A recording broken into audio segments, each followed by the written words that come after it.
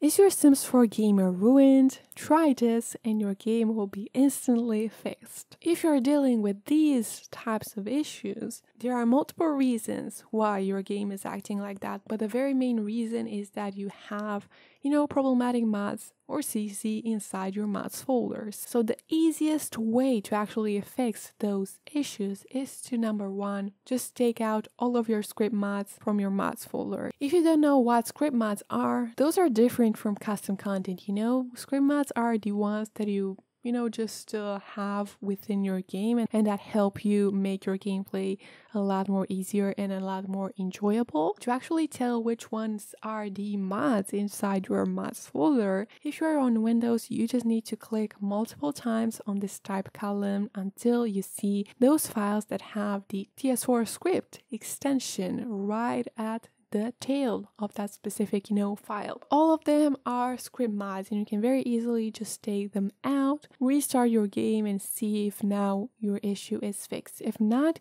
you can just close your game and then go into your The Sims 4 folder and delete this file which is called local thumb cache or local thumb cache.package. This will basically delete your game's cache which is basically composed by temporary files that have been accumulated over time. So this will also get rid of those temporary files associated with your broken or problematic mods that you've just deleted. Okay, we're getting into technical issues over here. So just delete it, restart your game with no mods installed, obviously, and see for yourself if your game is working fine or not. If not, you may want to go for a hardcore method, which basically involves resetting your whole entire game. Now, that may seem a bit scary, I know, but trust me, if you do it the right way, you won't have to worry about, you know, just losing your games, saves, files, or anything because the secret and the key to resetting your game is to actually back up your whole entire Electronic Arts folder. So if you back up your whole entire Electronic Arts folder, you'll be assured that all of your files are in place somewhere else on your computer and you can very easily access them if you you ever need to, but it shouldn't be the case. So before you do anything, just back it up. And that means you just need to copy and paste your whole entire Electronic Arts folder somewhere else. It can be on your other local drive. If you don't have another local drive, you can copy it on your desktop if you have enough free space. You can even copy it to your downloads folder. You can also copy it to a flash drive if you have one on a CD, but I'm pretty sure that the size of your mods folder is gonna be bigger than the size of a CD. You can also put it onto an external SSD or HDD. Make sure you actually check the size of each and every individual folder and compare it with the size of your folders that you have on your computer. The same thing can be applied if you are going to, you know, just copy and paste it somewhere else on your computer if you want to be 100% sure that your backup Electronic Arts folder contains all of your files. You can just simply right click on it, go to properties, and then just compare the two sizes of those two folders, like your actual EA folder and your backup folder.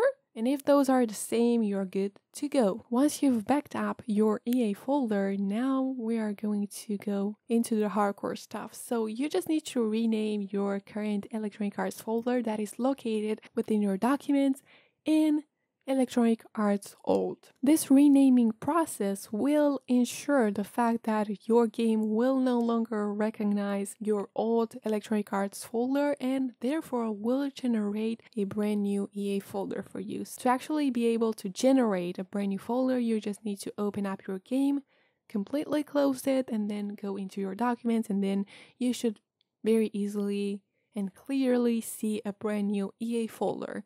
In here, make sure you don't delete your EA old folder because that one contains all of your saves, all of your files, although you also have the other backup on your desktop or in the other location that you've copied your backup folder. It's actually easier to just work with these two folders that are close to each other, if that makes any sense. You just need to access your Electronic Arts old folder, or if you have already, you know, just deleted that folder, you can obviously access your backup folder, but the content, meaning that the files that are included within the following folders need to be copied to this new Electronic Arts folder. So you need to copy your tray, your saves, and your screenshots files from your backup or old EA folder to this new one. So make sure you actually put those files into the appropriate folder. So if you want to decide to copy all of your saves, make sure you go into your backup or old EA folder, the Sims 4 saves, and then hit Control A or Command A to select all of your saves. Right click on them, copy them and then go back into your brand new Electronic Arts folder, The Sims 4 and saves. The point I'm trying to make right over here is that the saves files should obviously go into your new saves folder. The tray files should go into your brand new tray folder. Now you don't need to copy your whole entire folder. You just need to copy the content, the files inside your tray, your saves, and your screenshots folder. I truly hope it makes sense. And once you have put all of your content back into your brand new EA folder, make sure you also copy and paste your CC I'm not talking about mods because mods will be problematic, but as far as CC goes, you can very easily put them back. And to actually sort by CC, you can very easily type in your mods search bar dot package, which is basically the extension for the custom content files. Select all of them and copy them and then paste them into your brand new EA folder, The Sims 4, and then mods. Now, I know that you may want to use your mods, but what I recommend you to do is to actually re-download any mods that you would like to use from now on because those mods may be problematic maybe corrupt, you're better off reinstalling your mods. I know that you may have lots and lots of mods, like I don't know, maybe 6,000 mods. Okay, I'm talking about script mods, not custom content. We're talking about MCC, we're talking about quick bath, quick shower, quick cooking. We're talking about slice of life. We're talking about the drama mod, live drama mod. So make sure you reinstall the bigger, you know, script mods within your brand new mods folder because we really don't want to encounter any other issues in the long term, okay? So if you're still having troubles with your game, make sure you check out these videos as well. These may also help you scan your whole entire mods folder. These may also help you fix any other issues that you may have. If you liked this type of content, please make sure to subscribe, like, comment, all that good jazz. Hit a notification bell to be notified whenever I'm uploading a new video because it truly, truly helps me a lot. Thank you so much and I'll see you next time with a brand new, exciting and helpful video for you. Have an awesome day just like you. Bye guys.